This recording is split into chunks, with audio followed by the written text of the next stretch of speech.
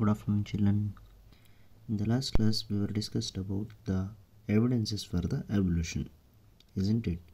So we were discussed about the, I mean, the various step of the uh, evidences which is responsible as well as explain about the how the exactly the evolution is happened, isn't it? So in this class, we will continue the discussion with respect to the theories of biological evolutions. Okay so there are a few theories. Actually majorly there are three three three theories which is comes under the biological evolution which is try to explain how the origin of the life and existed on this earth. Okay? So let us start the discussion with respect to the theories of biological evolution. So whenever it comes to the theories of the biological evolution there are three major important theories okay? They try to explain. So there are three of the different scientists they try to explain. I mean the theories of the biological evolution with respect to the how the exactly the biological evolution is happened on this earth. In that one the first one is a theory of Lamarck. It is popularly known as Lamarckism or theory of inheritance of acquired characters. And the second one is Darwin Darwin theory. It is popularly known as Darwinism or theory of natural selection. And the third one is mutation theory of Hugo de Vries actually. Okay. So among these three, I hope uh, I mean the Lamarckism as well as the Darwinism you must have studied in the high school level only. Try to recall and I will try to elaborate as well as explain uh, in detail about all these things and the mutation theory of the de Vries it is here only. I mean it is present the PU level. That one also after that so I will try to explain in detail okay? So let us start the discussion. We will learn today about the theories of the biological evolution. In that one first one is the theory of Lamarck or the Lamarckism okay? It is also known as theory of inheritance of acquired characters okay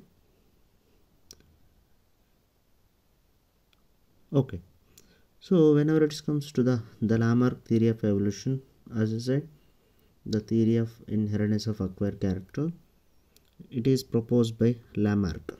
Okay is actually I mean the Lamarck is actually a French naturalist.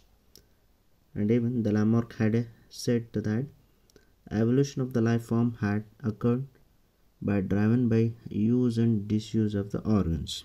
Okay? So that means so the lamarckism or theory of inheritance of acquired character it was given by or it is proposed by lamarck. Okay? So that he is actually a french naturalist.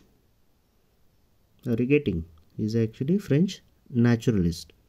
It states that the evolution of the life forms occurred by inheritance of acquired character. Okay. Are getting? Yeah. So that means uh, whatever he tried to explain in those days by taking example okay according to his i mean the view he tried to explain. But the, in those days that was one of the important as well as a milestone with respect to the theories of the biological evolution. Okay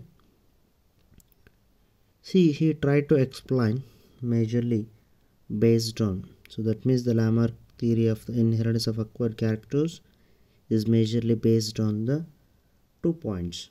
Okay, are the two concepts. So that's what I said.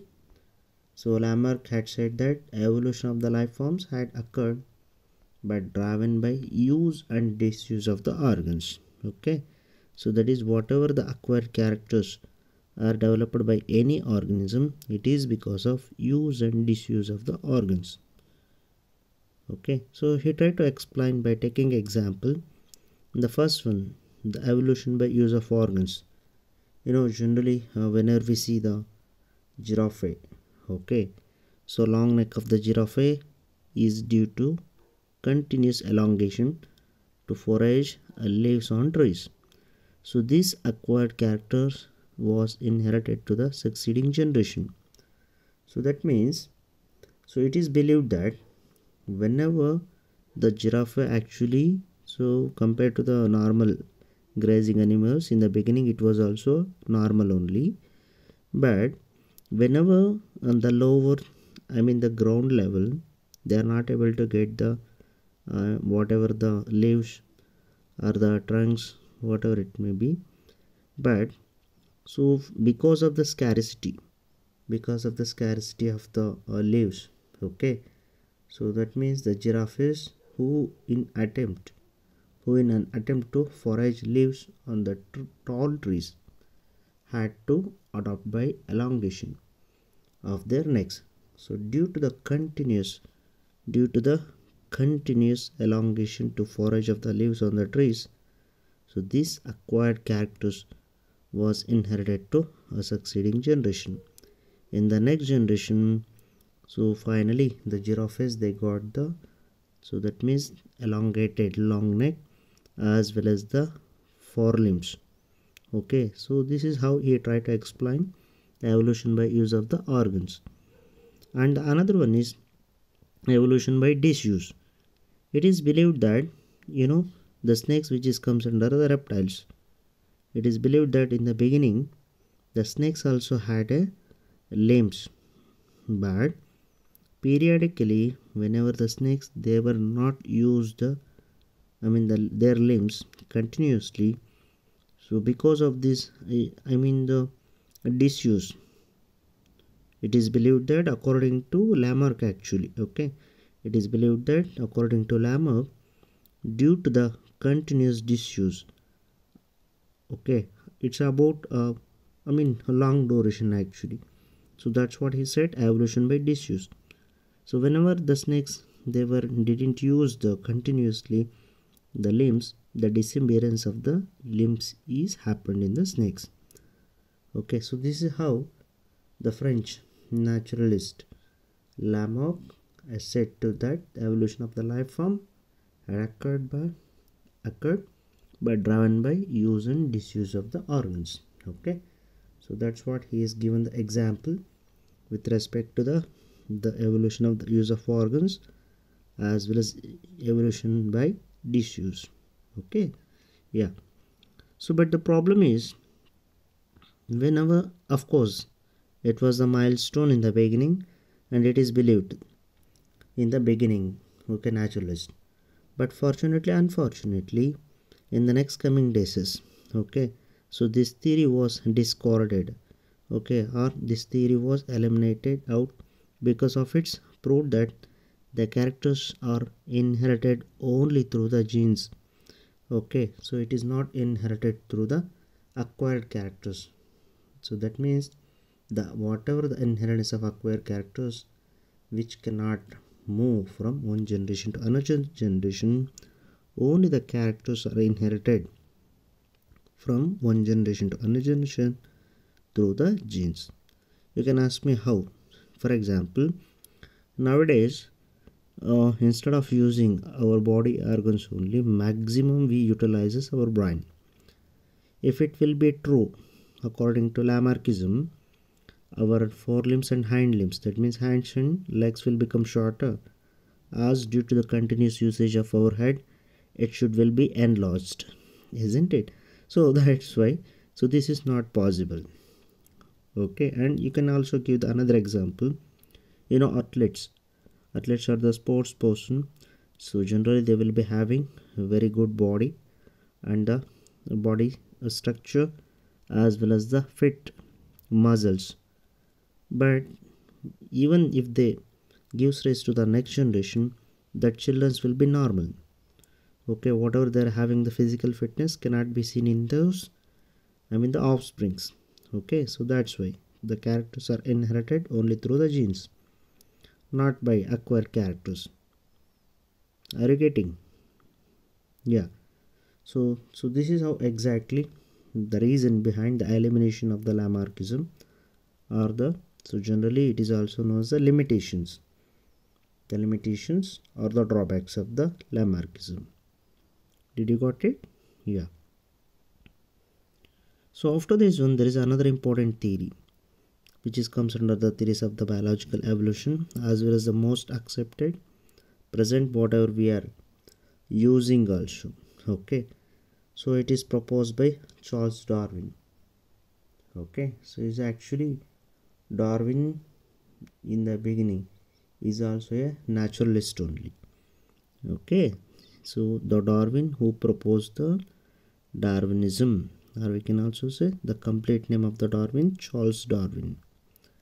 It was based on observation during a sea voyage in a that is sail ship called hms beagle. Okay so that means he went to the so long voyage actually for the purpose of observation. So with the help of that hms beagle and alfred wallace a naturalist worked in a malay that is archipelago. So that means alfred wallace had also come to the similar conclusions. So both they were worked on the similar and the observation so they give the similar conclusion. The work of the thomas malthus and the populations greatly influenced the darwin so if he tried to continue the observations whatever it is given by the thomas malthus finally he concluded in the name of that is nothing but the darwinism okay so what it says that actually so I was telling about, see, the Darwin theory of evolution. It is popularly known as theory of natural selection. Why? Because the natural selection, it is a process of selection of the better adapted individuals with useful variations by the nature or the individuals less adapted to the environment are eliminated and selecting those better adapted by the nature. But majorly, whatever the Darwin tried to explain, the Darwinism is based on two important key concepts. So in that one, the first one is the branching descents. The branching descents. What is the meaning of this one? So it explains that all organisms are modified descendants of previous life forms. So that means all the organisms, whatever we identify present, so they're all modified descendants of previous life forms so they had the common ancestor okay they had a common ancestor earlier so during period of the evolution but later okay later due to certain heritable changes so they may be so the descendants may be differs with respect to the branching irrigating yeah. So another key component or the key concept that is a natural selection. So that's what I said. So it is the process of selection of better adapted individuals with useful variations by the nature or individuals less adapted to the environment are eliminated and selecting those better adapted by the nature okay so consider so for the purpose of the natural selection consider a bacterial colony a which is growing on a given medium. If the medium composition is changed, only a part of the population can survive under a new condition. So this variant population B outgrows the other and appears as a new species. So that means the B is the better than A under new condition. So thus the nature selects for fitness, isn't it? so whatever it is get adjusted. so that means the whatever organisms are better adapted to survive in an otherwise hostile environment okay so this must be very important. So that is what we call adaptive ability.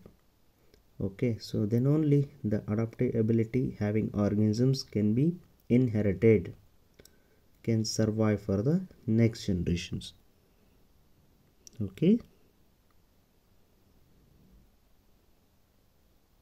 So here so whenever he see that the various observations based on the natural selection so that means the whatever the darwin given the darwinism the theory of the natural selection is based on the following facts. Okay it is observed by the so that is charles darwin. What are those observations means? The first one is heritable minor variations. The second one is overproduction.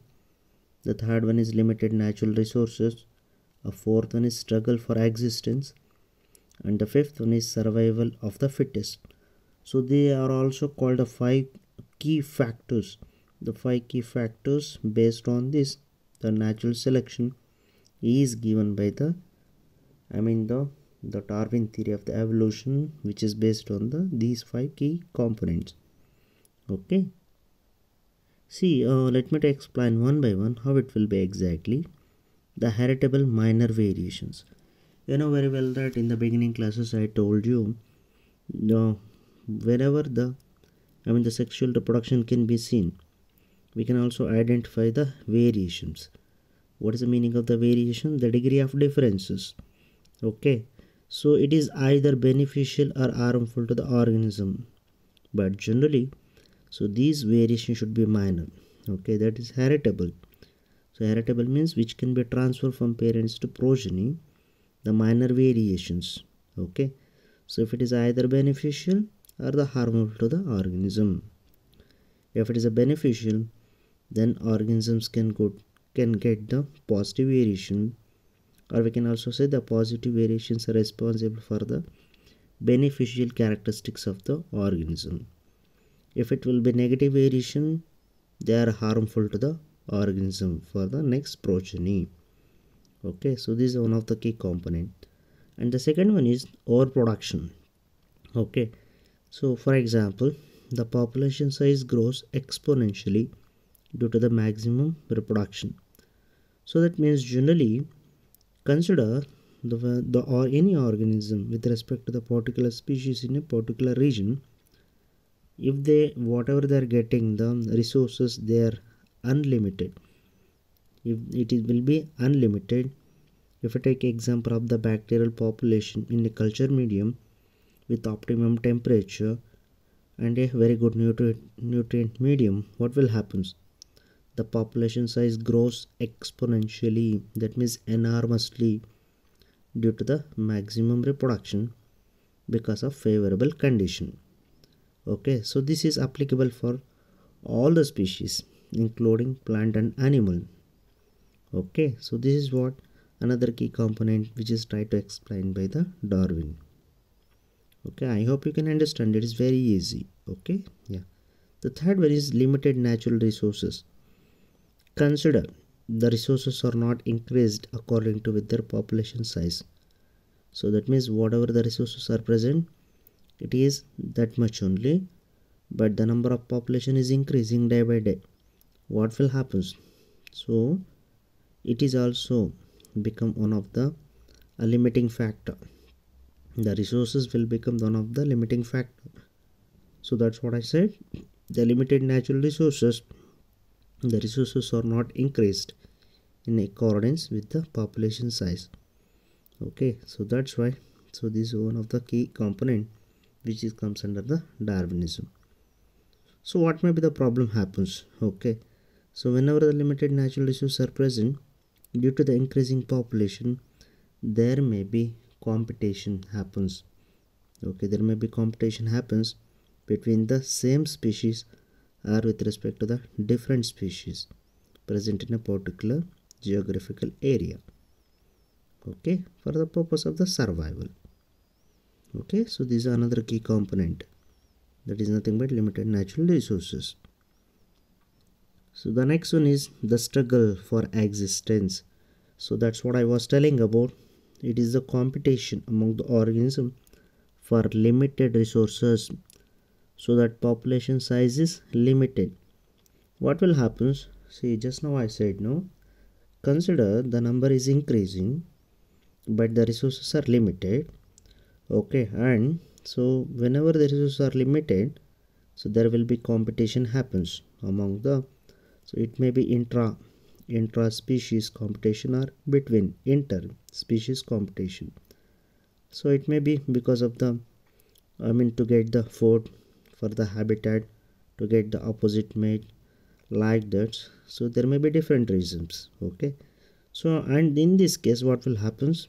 Whenever the competition ha happens among the organism for resources so that the population size is limited. How so whenever the competition happens what will happens?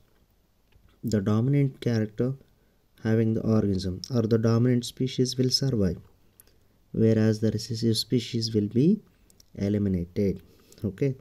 So that so it is one of the key component. That is the struggle for existence. Okay? Is it clear? It's very easy. Then and the fifth key component of the darwinism that is nothing but the survival of the fittest what is the meaning of the survival of the fittest? See in a struggle for existence that's what i said.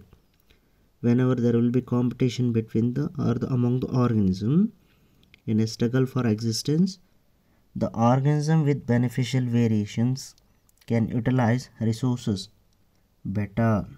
Okay. Where whatever the organisms having a capability can utilize the better resources those species will be considered as the dominant species.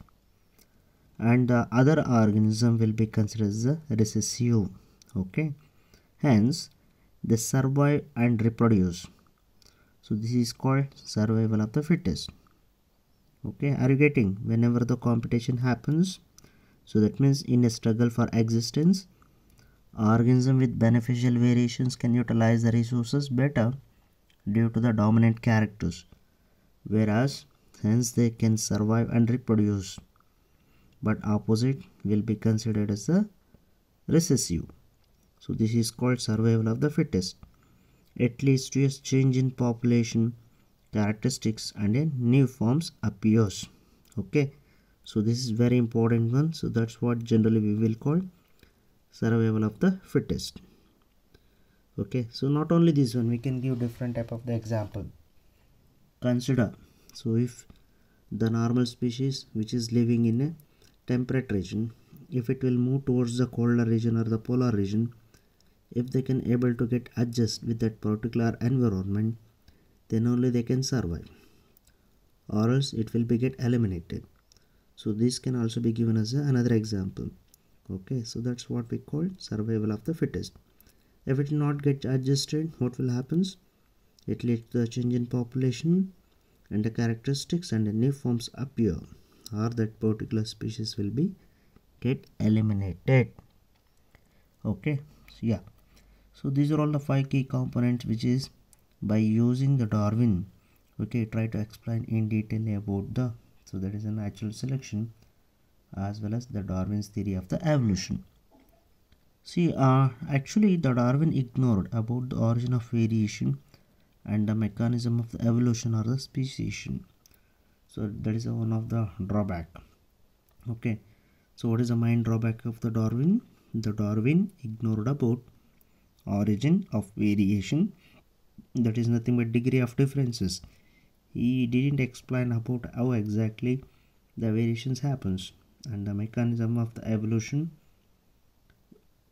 Actually how the variation play important role during mechanism of evolution or the speciation. The speciation is nothing but single step mutation which is leads to the large variation. Okay? The next one the next theory the, which is comes under theory of self the biological evolution that is mechanism of evolution which is given by the de okay the Vries who proposed the mutation theory of evolution. So he conducted some experiments on evening primrose okay? It is commonly called the evening primrose the botanical name Oenothera lamarckiana. And believed that evolution takes place through mutation and not by minor variation okay? So here is the plant which is given in the slide okay so that means actually okay what is this mechanism evolution means the evolution needs change or variations isn't it? Hence, the variations are the raw material for the evolution. Unless there is a variation, no evolution takes place. So then, what is or the what are the origin of the variation, and how does speciation occurs? Okay, so there are three name of the biologists express their views are as follows. Okay. So that means in that one first one actually the Mendel you know very well that he tried to explain the inheritable factors influencing the phenotype. You know the factors are nothing but the so whatever we are discussing nowadays? They are nothing but the genes. They are structural and functional unit of the heredity. And what about the another one? The darwin isn't it? The darwin that is darwinian variation is minor a slow and directional. It results in gradual evolution. So that means the darwin either ignore these observations that means the mendel's observation are kept silent but he mentioned that the natural selection that is sorting out of the better fit individual from a population by the nature. Okay. And finally the Hugo de believed that the mutation which causes evolution. So okay did you got it? So that means the three biologists express their views with respect to the mechanism of the evolution. Okay yeah so the darwinian variation is minor slow and directional. It results in gradual evolution. And the mutational variation which is given by the Hugo de Vries is a sudden okay random and directionless. Here the speciation is by the saltation. What is the meaning of speciation? A single step mutation which is leads to large variations is called saltation and the mutation is the origin of variation for the evolution. I told you mutation is nothing but sudden heritable changes. Okay so it is responsible for the evolution. Okay so this is how exactly the uh, mechanism of the evolution which is tried to explain by three biologists and express their own views. Okay what is that own views? So remember the mendel inheritable factor influencing phenotype okay so then the darwin so either ignore these the mendel observation or kept silence so that means so he mentioned that natural selection the sorting out of the better fit individual from a population by nature. And finally de Vries believed that mutation which causes the evolution. Okay so this is with respect to the mechanism of evolution. So today what we were discussed we were discussed about the biological evolution so which is explained by three name of the scientists the first one is the Lamarck theory of evolution. It is also known as theory of inheritance of the acquired characters. Okay which is given by the French naturalist Lamarck. Had said that evolution of the life forms had occurred but driven by use and disuse of the organs. And also he is given the example of the giraffe. Okay so is an attempt to forage leaves on tall trees had to adapt by elongation of their neck and forelimbs isn't it? And they passed on these acquired characters of elongated neck to succeeding generation so that the giraffes closely over the years came to the acquired the long neck as well as the, the forelimbs. And another one is the darwin's theory of evolution. It is popularly known as the natural selection it is a process of selection of better adapted individuals with useful variations by the nature or individuals less adapted to the environment are eliminated and selecting those better adapted by the nature. The third one is Hugo de Vries. Okay, Hugo de Vries who believed that mutation which causes the evolution. Okay, and after that we will discussed about the mechanism of the evolution. That means evolution needs to changes or variations. So that means the variations is necessary for the evolution. So hence the variations are the raw material for evolution unless there is a variation no evolution takes place. Okay so these are all about the the biological evolution as well as the mechanism of the evolution. So let it be. Next class we will continue with respect to the further topic okay so thank you. Have a nice day